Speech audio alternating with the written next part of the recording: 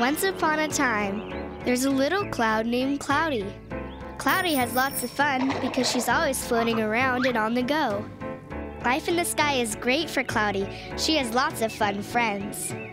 Sunny the sun, Rainy the rain, and Windy the wind.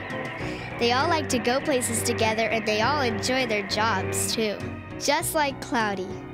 One day, Cloudy met a new cloud that was all green and weird looking. The cloud was sick. Cloudy had never seen a sick cloud before. It wasn't moving, it was stuck, just hanging over the highway. Cloudy asked the sick cloud what was the matter. The cloud coughed and told her that the smoke that comes from the burning gas in the cars had made him sick. Cloudy looked down, and there beneath them was a highway full of cars, making the air all dirty. Cloudy got an idea. She called her friends Sunny, Rainy, and Windy.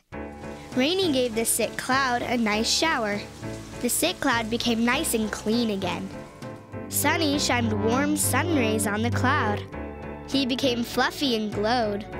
Windy gave him a nice gust of wind, which made the cloud move away from all the dirty car smoke.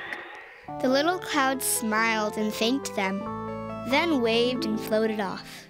Cloudy looked down at the cars on the highway. She asked her friends what they could do to stop these cars from making the air dirty. Sunny, Rainy, and Windy said that only people can stop making the air dirty. So Cloudy and her friends went back to work making rain, wind, and sunshine. But it's our job to keep the air clean. Cloudy is counting on us. The end.